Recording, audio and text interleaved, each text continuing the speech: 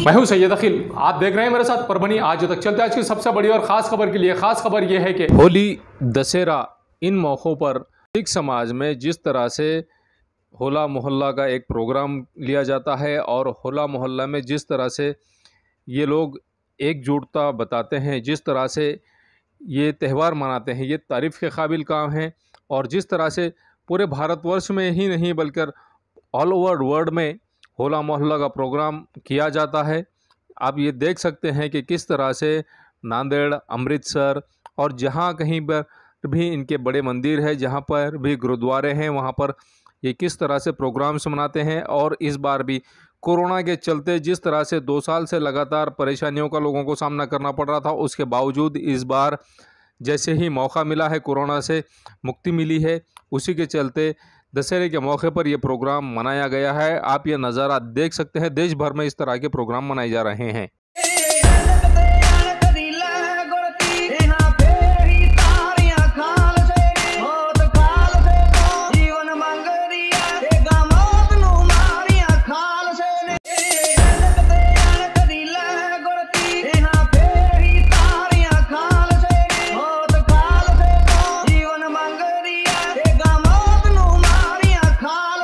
परभनी शहर महानगर पालिका के अंतर्गत आने वाले प्रभाग नंबर तीन में जिस तरह से लोगों को खासी परेशानी का सामना करना पड़ रहा है, आप ये नज़ारा देख सकते हैं कि जब भी नल खुलते हैं तो नल खुलने के बाद में लोगों के घरों में पानी कैसे, किस तरह से घुस जाता है और लोगों के घरों में पानी घुसने की सबसे बड़ी वजह यह है कि यहाँ की जो नालियाँ हैं, नालियाँ तो तीन फीट डोंगी बनाई हुई है, ऐसा यहाँ के लोगों का बोलना है। लेकिन तीन फीट डोंगी नालियाँ होने के बावजूद यहाँ पर परभणी शहर महानगर पालिका के सफ़ाई कामगार आते नहीं हैं और नहीं आने की वजह से अब तक यहाँ की नालियाँ पूरी भर गई हैं और ये नालियाँ भरने की वजह से लोगों के घरों में पानी जा रहा है, ऐसा भी यहाँ के लोगों ने आरोप लगाया है। परभनी शहर महानगर पालिका के आयुक्त तो देवीदास पवार इन्होंने यहाँ पर ध्यान देने की बहुत ज़रूरत है, ऐसा भी यहाँ के लोगों का मानना है। आप ये नज़ारा देख सकते हैं कि जिस तरह से लोगों को परेशानी का सामना करना पड़ रहा है, किस तरह से नालियाँ भरी हुई है और नाली भरे होने की वजह से लोगों को परेशानी का सामना करना पड़ रहा है। जब भी नल खुलते हैं, लोगों के घरों में पानी चला जाता है, ऐसा इनका आरोप है।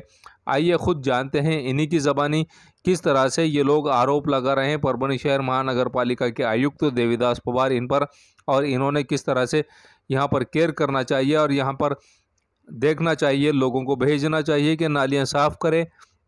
आइए खुद जानते हैं उन्हीं की ज़बानी कि किस तरह के आरोप यहाँ के लोग लगा रहे हैं और क्या इनका कहना है और क्या इनकी मांग है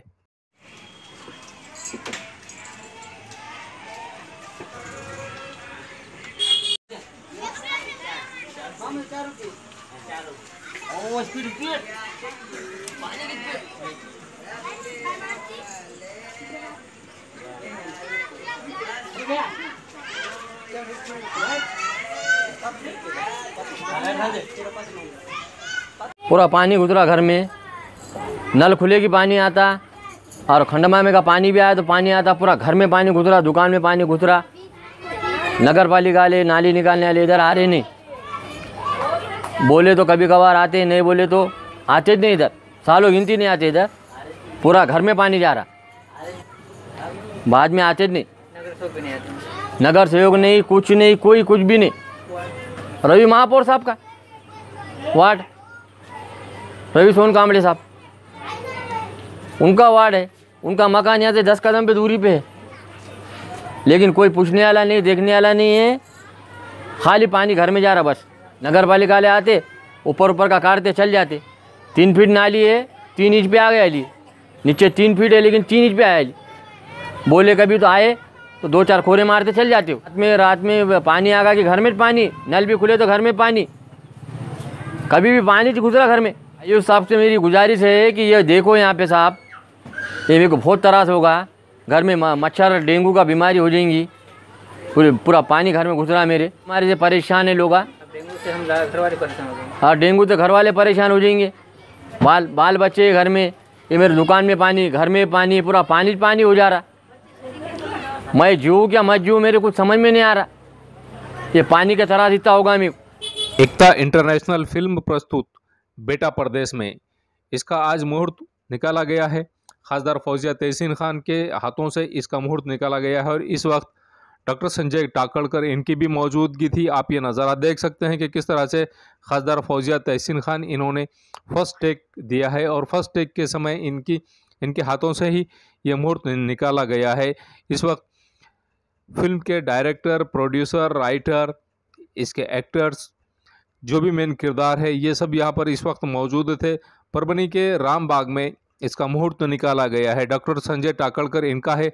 श्री रामबाग और श्री रामबाग में जिस तरह से लोग सैर तफरी के लिए आते हैं, उसी के चलते आज 16 अक्टूबर 2021 को दोपहर साढ़े चार बजे खजर फौजिया तहसीन खान इनके हाथों से बेटा प्रदेश में इसका मुहूर्त निकाला गया है। आप ये नज़ारा देख सकते हैं कि खासदार फौजिया तहसीन खान, ये किस तरह से फ़र्स्ट टेक का एक्शन का रिप्लाई देते हुए नज़र आ रही हैं, उसी के साथ में उन्होंने इन लोगों का सत्कार भी किया है, जिन लोगों को इस फ़िल्म में काम करना है, जो इसके मेन किरदार में आते हैं। इन सभी का इन्होंने खजर फौजिया तहसीन खान, इन्होंने सत्कार किया है और सत्कार करने के बाद में जिस तरह की प्रतिक्रिया इन्होंने दी है, आप यह नज़ारा देख सकते हैं।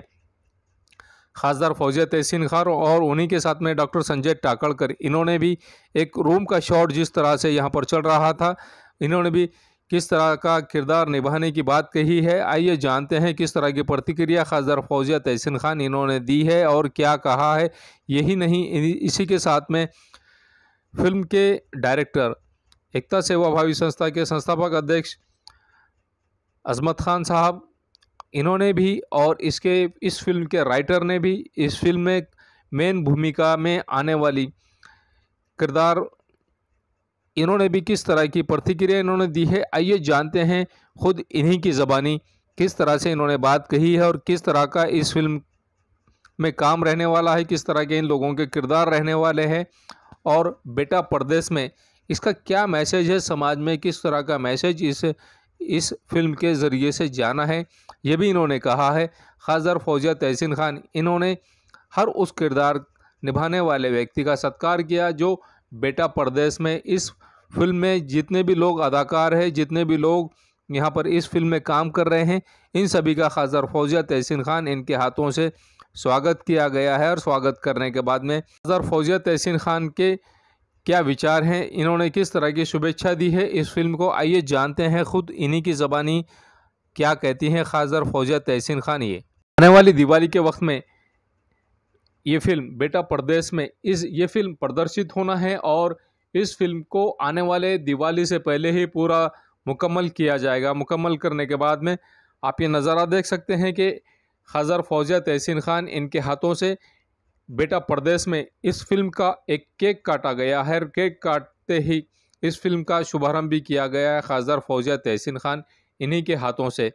आइए जानते हैं किस तरह की प्रतिक्रिया इन्होंने दी है और यही नहीं, इसमें जो लोग किरदार निभा रहे हैं, इन लोगों ने भी क्या कहा है? आइए इन्हीं की ज़बानी जानते हैं किस तरह की प्रतिक्रिया इन लोगों ने दी है और क्या कहा है। बेटा प्रदेश के मुहूर्त पर मोहतरमा फौजा मैडम साहिबा आए हैं। बेटा परदेश के मुहूर्त पर मैं पूरी इस फ़िल्म की टीम को शुभेच्छा देती हूँ। और उम्मीद है कि एक बहुत अच्छी फ़िल्म बने, एक अच्छा मैसेज देने वाली फ़िल्म तैयार हो। यहाँ हमारी भारतीय संस्कृति मिली जुली गंगा, जमुना, तहज़ीब, ये दिखाने की कोशिश की जा रही है। तो उम्मीद करती हूँ कि इस फ़िल्म के माध्यम से हम सचमुच अपने श्रोताओं को जो है जागरूक करें और एक बार फिर हमारी सुंदर तहज़ीब उनके सामने लाएँ। ये जो फ़िल्म बन रही है, वो भावनिक है और जो बेटा एक अभी जो नई पीढ़ी है, नई पीढ़ी के लिए एक अपने को संदेश देना है कि बच्चे ने जब माँ बाप बच्चों को संभालते हैं तो वो बच्चे बचपन से हँसते हैं, खेलते हैं, उठते हैं, बैठते हैं, गिरते हैं तो सब मम्मी और पापा माँ और बाप करते हैं। लेकिन आज की पीढ़ी उन, उनके मेहनत को, उनके संघर्ष को कुछ समझती नहीं है। लेकिन वो संघर्ष को समझकर उनके बुढ़ापे में उनको वही सीख, वो उसी तरह उनको उठना बैठना नहीं आता तो वही उठना, बैठना, उनको संभालना, उनको खाना खिलाना, उनके हर चीज़ चीज़ की ज़िम्मेदारी निभाना ये बच्चों का फ़र्ज़ रहता है, लेकिन वो फ़र्ज़ वो निभा नहीं पाते। लेकिन एक लड़का ऐसे भी संस्कार डाला हुआ है कि जो गरीब होते हुए भी अपने माँ बाप माँ बाप का ख्याल तो नहीं रख सकता और पैसे के लिए संघर्ष करता है, फिर भी अपने माँ के निधन पर नहीं जा सकता और दूसरे दूसरे बेटे के माँ को खुद की माँ समझकर उसका अंतिम संस्कार करता है। ये बहुत बड़ी सीख देने वाली बात इस बेटा परदेश में से हम हमको लोगों को मिलती है और मैं संदेश देना चाहूँगी कि बेटे इसी तरह जो सलीम ने अपना किरदार निभाया है। उसी तरह हर बेटा माँ बाप को अपने मिले। बस यही है एकता इंटरनेशनल फ़िल्म की प्रस्तुति से मैं अ, समाज को ये सीख मेरी भावना देना उन तक पहुँचाना चाहती हूँ। एकता इंटरनेशनल फ़िल्म प्रस्तुत। बेटा प्रदेश में मुहूर्त मुहूर्त हुआ है। और सब समय पे आके मुहूर्त अच्छी तरह से करे, इसी तरीके से आप ये फ़िल्म भी अच्छी तरह से सबके इसमें प्रस्तुत हो जाएँगी और लाइक हो जाएँगी। और ये, इसका कहानी का ये है कि बेटा प्रदेश में माँ बाप बेटे के लिए कितना करते हैं, लेकिन बेटा प्रदेश में होने की वजह से उनकी तकलीफ़ क्या होती है माँ बाप को, इस, इसमें, फ़िल्म में बताया गया है। और मैं शकुंतला मठपति मेरा टीचर, मेरा मन की निर्माता हूँ। शुरुआत तो मैं ये कहना चाहूँगा कि अजमत खान जी ने मुझे एक, इस मूवी के अंदर एक बहुत बड़ा मौका दिया। और मेरे भाई इस मंच के माध्यम से मैं ये बोलना चाहता हूँ कि जिस प्रकार से सोशल काम अजमत जी करते हैं उसी प्रकार से मैं भी एक सोशल वर्क करता रहा हूँ पिछले छः सात साल से। और एज ए राइटर की तरह से मुझे एक मौका मिला है बेटा परदेश में। ये मूवी उन नालायक बच्चों के लिए है जो अपने बूढ़े माँ बापों को छोड़ के विदेश में चले जाते हैं। एक बार भी वो पलट के देखते नहीं हैं कि उन माँ बापों का आखिर कौन सहारा होगा और वो किसके सहारे रहेंगे। इसी तरीके से एक मुस्लिम परिवार से, जिनका नाम सलीम है, वो गाँव से कुछ पैसे कमाने के लिए आते हैं और पारिवारिक स्थिति ऐसी थी कि उनकी जो छोटी बहन है और जो मदर हैं और अपनी बहन को वो पढ़ाना चाहते हैं। सपना एक बहुत बड़ा है सलीम का और सलीम शहर में आता है और ऑटो रिक्शा चलाता है, ज़्यादा पैसे कमाता है। इसी तरीके से एक दंपति हिंदू परिवार का मिलन होता है और वो दोनों अपने बेटे की तड़फ में दोनों गुजर जाते हैं, इस दुनिया से विदा कर जाते हैं। तब वो सलीम उन दोनों का हिंदू संस्कार ना जानते हुए किसी तरीके से एक मोक्ष प्राप्ति के लिए उन दोनों का दाह संस्कार में अपना एक अहम भूमिका निभाता है। और सलीम एक कम पढ़ा लिखा होने के बावजूद भी एक ऊँची सोच का लड़का है वो और मुझे इस कहानी को लिखने में बड़ा मज़ा आया और उम्मीद मैं करता हूँ कि आप लोगों को भी इसको देखने में बहुत मज़ा आएगा। मैं पवन रघुवंशी आपसे एक बार विनती ज़रूर करूँगा कि शुरू से लेके अंत तक इस मूवी को आप ज़रूर देखिएगा और ये एक पारिवारिक ताना बाना एक मूवी है शॉर्ट मूवी है और हम लोग इसमें अपनी पूरी जान झोंकने वाले हैं। और बाकी आपको किस प्रकार से लगेगी? ज़्यादा से ज़्यादा शेयर कीजिएगा लाइक कीजिएगा और हम लोग यही दुआ करते हैं कि अजमत भाई हम लोगों को इस तरीके से मौका दें और एक साफ़ सुथरा संदेश पूरे भारत क्या पूरे संसार में हम लोग देना चाहते हैं क्योंकि हम दोनों की सोच एक जैसी है। समाज में वो जो माँ बापों का एक पल भी ये नहीं सोचते कि उन लोगों को क्या होगा इस मूवी के माध्यम से हम दिखाने का पूरा प्रयास किया है। अजमत भाई जी बहुत बहुत धन्यवाद नमस्कार। तुषार मराठीचे अ, बेटा प्रदेश में एक अच्छा लघु चित्रपट आजमत भाई ने अभी मुहूर्त किया है उसका। मैं उसके लिए उनको बहुत शुभकामनाएँ देता हूँ।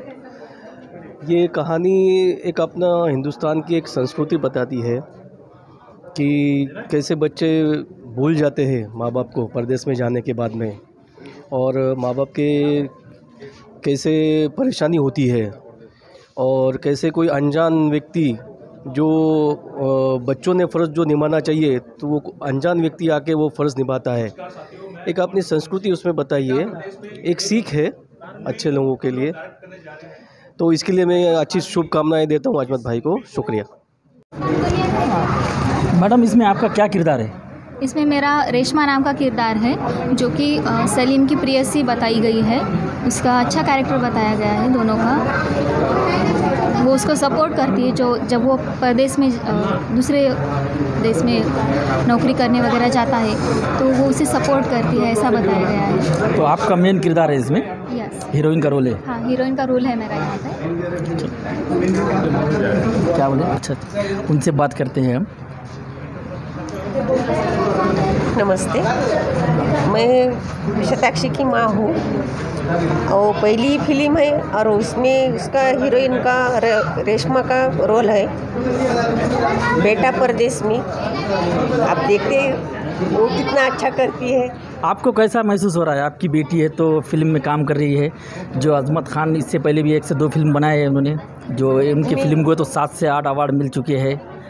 तो आपको कैसा लग रहा है आपकी बेटी काम कर रही है फ़िल्म में? नहीं बहुत अच्छा लग रहा है लेकिन वो कैसा उन्होंने ऐसा बताया कि भारतीय संस्कृति बेटे का रिश्ता घर वालों से कैसा होना चाहिए और वो माँ बाप को कैसा संभालता है बहन को कैसा संभालता है ये ऐसा उसमें बताया है। बहुत अच्छा बताया उन्होंने। हम अभी एक बेटा परदेश के फ़िल्म के सताक्षी जी उनकी बहन आए हुए हैं उनसे भी बात करते हैं। मैडम आप है तो आपको आपकी बहन को किरदार सिखा रहे हैं क्या फ़िल्म के बारे में? तो आपको कैसा महसूस हो रहा है इनको जब सिखाते समय? एक्चुअली जब मुझे पता चला कि उसे कोई फ़िल्म के लिए बुलाया है हीरोइन का रोल मिला तो मुझे बहुत खुशी हुई। और ट्रेनिंग देने के लिए मतलब नहीं खाली थोड़ा सा गाइडेंस कर रहे हो उसको कि और सपोर्ट कि वो करे अच्छे जो मैं नहीं कर सकी वो वो करे। मतलब इसका मतलब आपको भी है तो फ़िल्मों से लगाव है यानी कि काम करने की इच्छा है। है। तो आप करें क्या पहले कोई फ़िल्मों में? नहीं वैसा नहीं करे पर ठीक ख्वाहिश थी लेकिन अब वो जाना नहीं हुआ। अब परवड़ी में भी पहली बार इतनी अच्छी कोशिश हो रही है तो। नहीं परभनी के हमारे अजमत खान साहब जो है फ़ेमस डायरेक्टर है वो। मतलब अभी उन्होंने आठ से दस फ़िल्मों में मतलब आठ से दस अवार्ड मिल चुके हैं उनकी एक फ़िल्म को। एक प्रेम थेम एक प्रेम एक थेम प्रेमाच। ये फ़िल्म को आठ से दस अवार्ड मिल चुके हैं उनके। नेशनल लेवल इंटरनेशनल लेवल पे चल रही है उनकी फ़िल्म और नाम भी उनका एकता इंटरनेशनली है। फ़िल्म प्रोडक्शन तो मतलब आपकी है क्या ख्वाहिश फ़िल्म में काम करेंगे अगर अजमत खान साहब अगर आपको रोल देते हैं तो? हाँ क्यों नहीं? अजमत खान साहब से बात करते हैं जो आज है तो एकता फ़िल्म प्रोडक्शन का मुहूर्त हुआ है रामबाग यहाँ पर। अजमत खान सर आपने तो जो बेटा ही परदेश में क्यों नाम रखा है फ़िल्म का? देखिए, पहला मैंने फ़िल्म रखा, फ़िल्म बनाई थी, एक थीम प्रेमाचा तो लोगों ने कहा था कि एक थीम प्रेम का क्यों रखे? लेकिन वो थीम जो था, दादा पोते का प्यार बताया था। एक आँसू प्यार का। मरा हिंदी में होता है एक आँसू प्यार का, और मराठी में था एक थीम प्रेमाचा और दादा और पोते का जो प्यार है, उसमें दिखाया था। और दूसरी फ़िल्म बनाई थी हमने। आप लोगों ने बहुत उसको सराहा सबने और तो आपके चैनल के माध्यम से बहुत उसकी न्यूज़ चली। उसका नाम था मेरा टीचर मेरा अभिमान। यानी मैं जिन टीचरों ने मेरे को संस्कार दिए, मुझे गर्व था उनके ऊपर। मुझे लगता था कि मेरे टीचर कहीं ना कहीं मेरे लिए गर्व होना चाहिए। तो वो चीज़ देखते हुए हमने वो फ़िल्म बनाई थी और मठपति मैडम जो तो उसके निर्माते थे।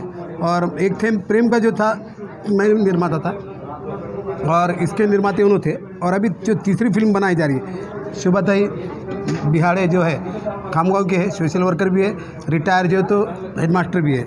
तो उनसे हमारी बातचीत चली तो हमने ये सोचा कि आजकल के बच्चे जो है बहुत विदेश जाते हैं।